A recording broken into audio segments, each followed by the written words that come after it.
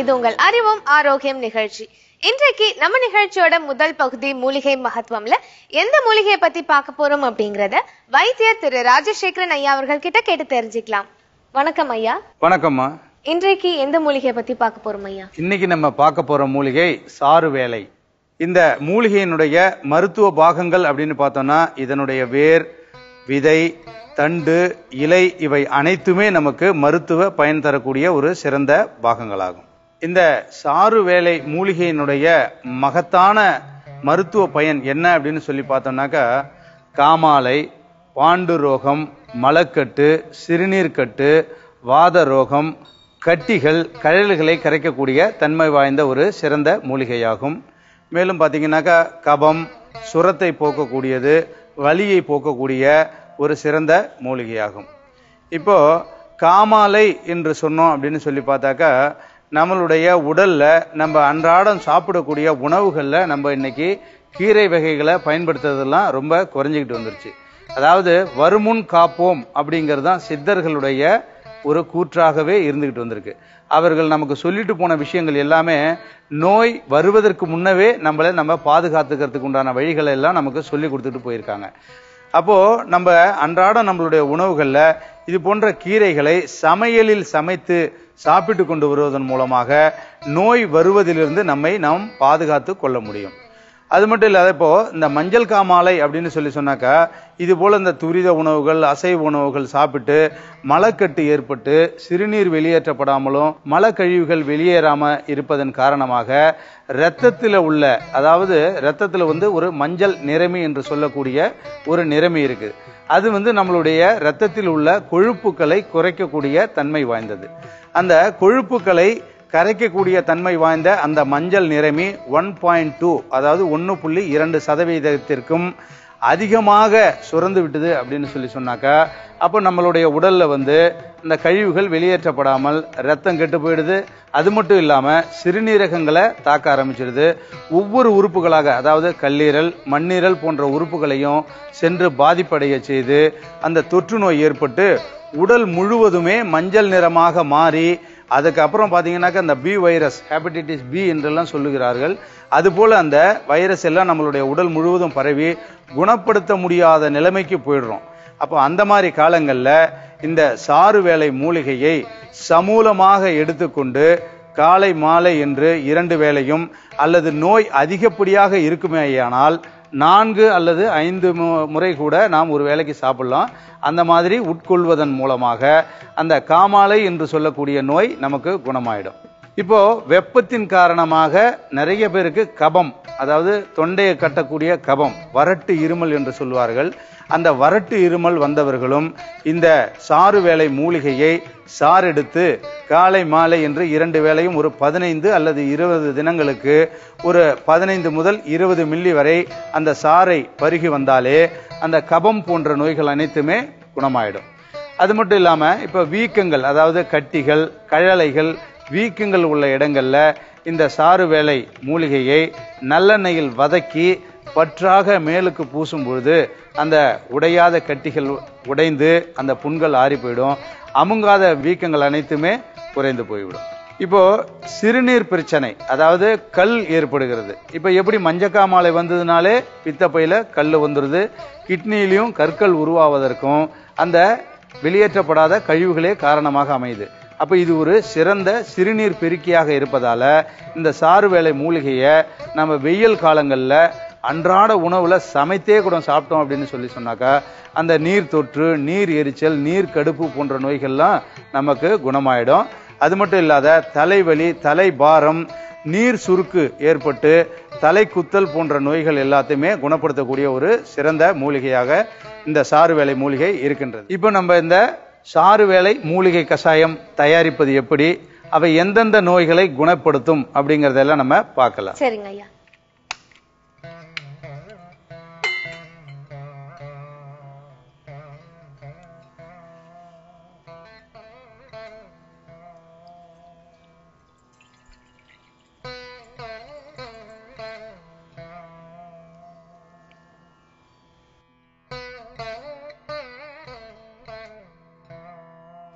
இப்போ தண்ணி நல்லா சூடாயிடுச்சு.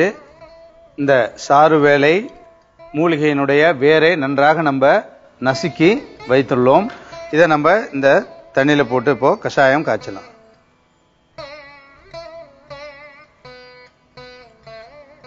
இது போடும்போதே ஒரு நல்ல ஒரு மனம் வரும்.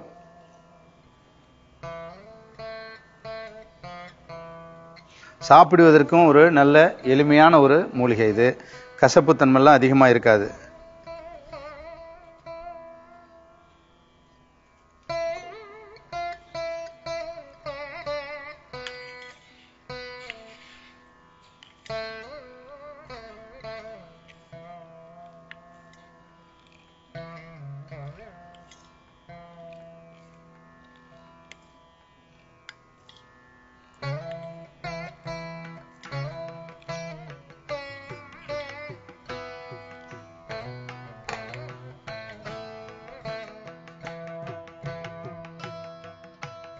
இப்போ நம்ம வைத்த இரண்டு பங்கு நீர் கால் பங்காக நல்லா சுண்டிடுச்சு. நம்ம இதை வடிகட்டிக்கிறோம்.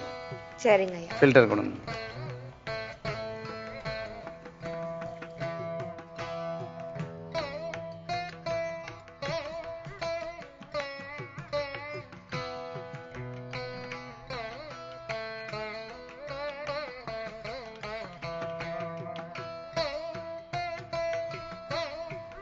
இப்போ நமக்கு தேவையான இந்த சாறு வேலை கஷாயம் தயாராகிவிட்டது. இந்த சாறு வேலை கஷாயத்தை ஒரு நாளைக்கு இரண்டு மணி நேரத்துக்கு ஒரு முறை இரண்டு அவுன்ஸ் வீதமாக சாப்பிட்டுக்கிட்டு வந்தோம் அப்படின்னு சொல்லி சொன்னாக்கா அதாவது இந்த நல்ல மலம் போகிற வரைக்கும் சாப்பிடணும். அதாவது ஃப்ரீயாக வயிற்றில் உள்ள மலக்கட்டு நீர்க்கட்டுகள் எல்லாம் நல்லா நீர் பிரிக்கும் நல்ல மலம் போகிற வரைக்கும் இதை இரண்டு மணி நேரத்துக்கு ஒரு முறை சாப்பிட்டுட்டு வந்தோம் அப்படின்னு சொல்லி சொன்னாக்கா நம்மளுடைய உடல்களில் ஏற்பட்ட அந்த மஞ்சள் காமாலை நோயினுடைய தீவிரம் குறைந்துவிடும். அது மட்டும் இல்லாத நம்மளுடைய உடலில் இருந்து இரத்தத்திலிருந்து வெளியேற்றப்பட வேண்டிய கழிவுகள் அனைத்தும் வெளியேற்றப்பட்டு உடலுக்கு நல்ல ஒரு தேக ஆரோக்கியத்தை கொடுக்கும். இன்றைக்கு இந்த மூலிகையை பத்தி நிறைய விஷயங்கள் சொன்னீங்க ஐயா. அதுல கஷாயம் எப்படி செய்யணும் அப்படிங்கறதும் எங்களுக்காக சொன்னீங்க. ரொம்ப ரொம்ப நன்றி.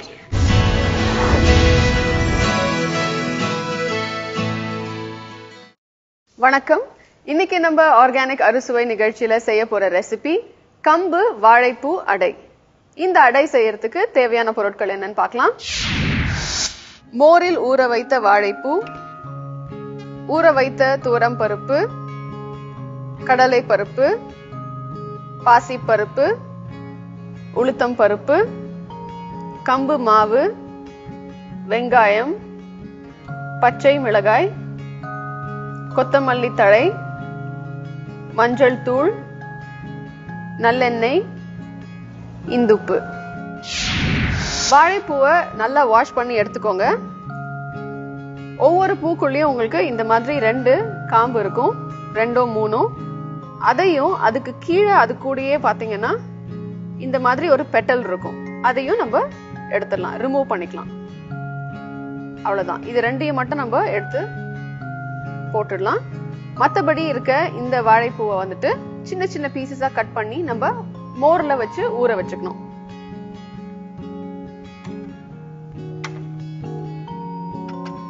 கடாய் எடுத்துக்கோங்க.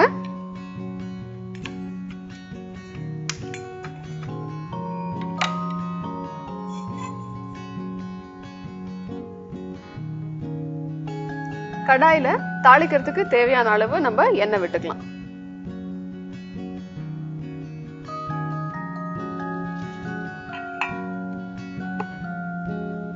இதுல வெங்காயம் கட் பண்ணி வச்சிருக்கிறது ஆட் பண்ணிக்கோங்க.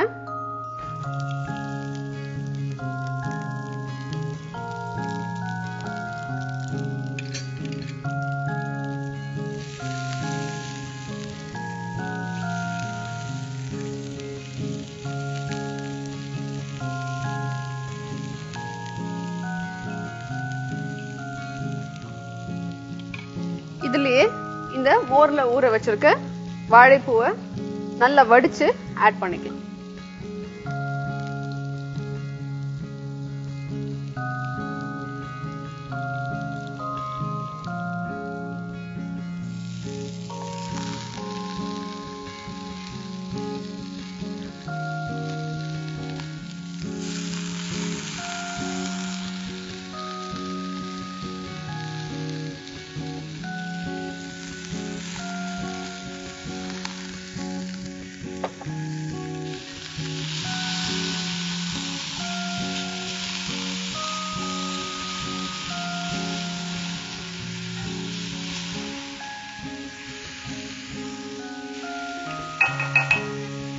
இதுல கொஞ்சமா மஞ்சள் தூள் ஆட் பண்ணிக்கோங்க.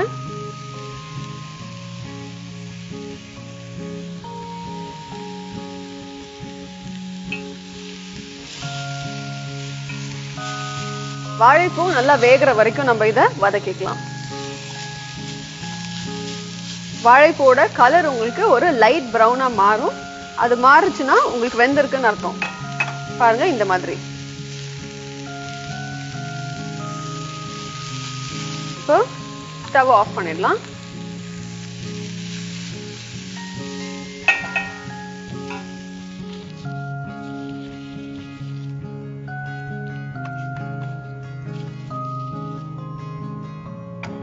இப்போ அந்த அடை மாவு எப்படி அரைக்கிறதுன்னு சொல்றேன். கொத்தமல்லி தழை ஆட் பண்ணிக்கலாம். அது கூடவே வந்து காரத்துக்கு ஏத்த மாதிரி நான் ரெண்டு பச்சை மிளகாய் ஆட் பண்றேன் இதுல.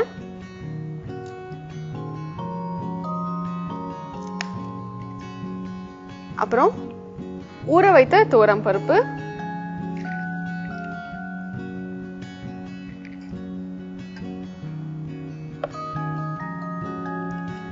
ஊற வைத்த கடலை பருப்பு. இந்த பருப்பு எல்லாமே வந்து குறைஞ்சது ஒரு ஆறு மணி நேரம் ஆச்சும் நீங்க இதை ஊற வச்சுக்கோங்க. அடுத்தது பாசி பருப்பு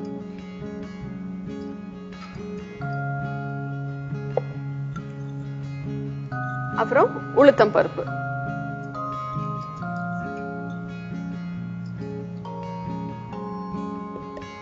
இது கூட கம்பு மாவு ஆட் பண்ணிக்கலாம்.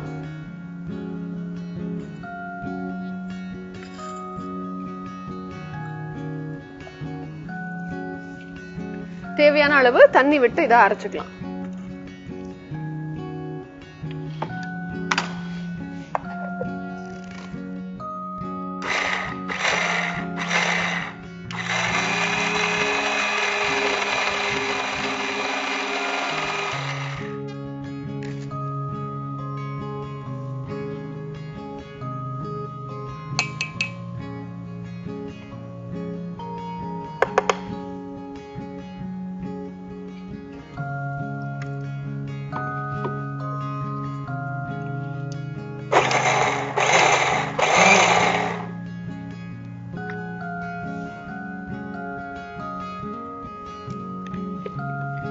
இந்த மாதிரி ஒன்னா ரெண்டா அரைச்சிங்கனாலே போதும்.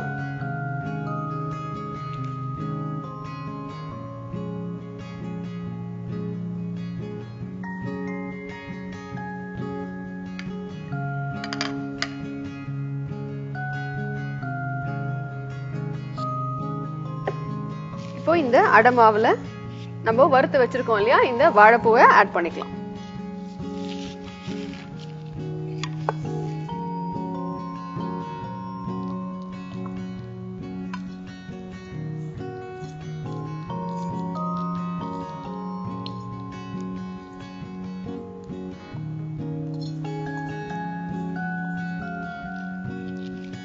இதை நல்லா கலந்து விட்டுக்கலாம்.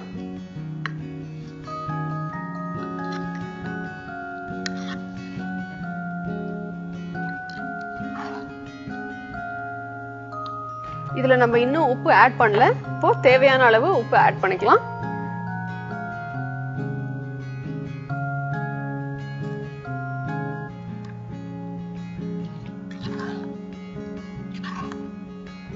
கம்பு வாழைப்பூ அடை மாவு தயாராயிடுச்சு. இதை நம்ம அடையா போட்டுக்கலாம்.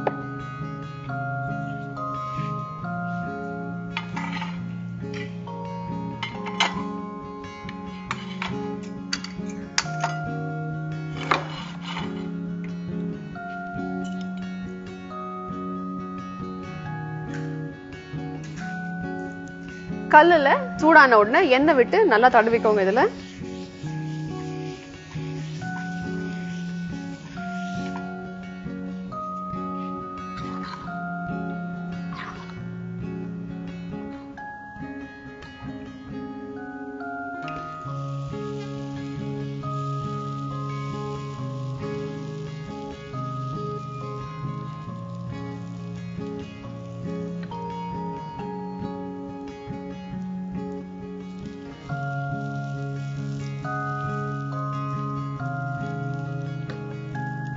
தேவையான அளவு எண்ணெய் விட்டுக்கலாம்.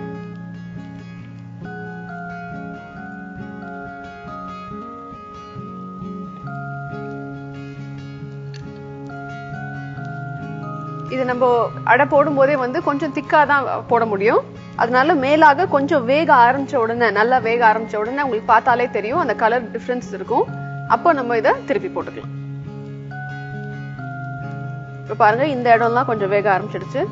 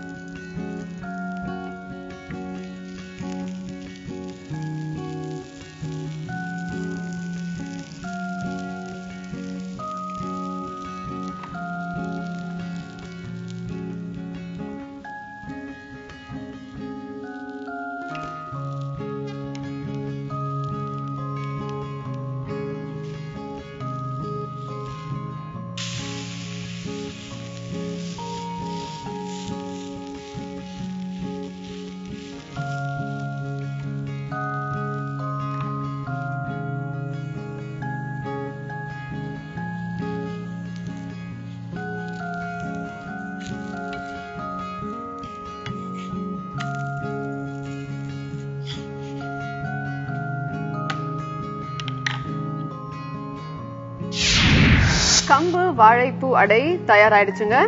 இது ரொம்ப குவிக்கா ஈஸியா செய்யக்கூடிய ஒரு ரெசிபி. இந்த அடை வந்துட்டு நீங்க ஒரு புளிப்பா இருக்க மாதிரி ஒரு சட்னி தக்காளி சட்னியோ இல்லைனா வந்துட்டு கொத்தமல்லி புளி போட்டு நல்ல புளிப்பா இருக்க சட்னி சாப்பிட்டீங்கன்னா ரொம்ப டேஸ்டியா இருக்கும். இந்த ரெசிபி உங்க வீட்டில் ட்ரை பண்ணி பாருங்க. கண்டிப்பா எல்லாரும் விரும்பி சாப்பிடுவாங்க. மீண்டும் அடுத்த ஆர்கானிக் அறுசுவை நிகழ்ச்சியில சந்திக்கலாம். நன்றி வணக்கம்.